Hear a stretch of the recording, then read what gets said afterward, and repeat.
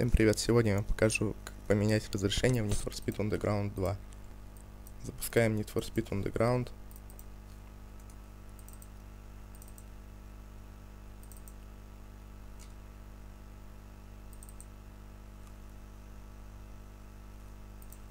EA Games.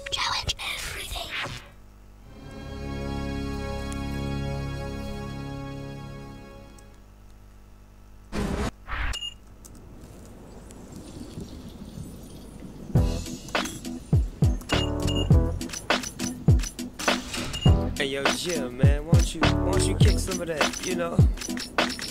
You, you know how you do it, man. It's a trip people don't even believe we're together right now. But, but, but tell your story, you know the one I like. Тон.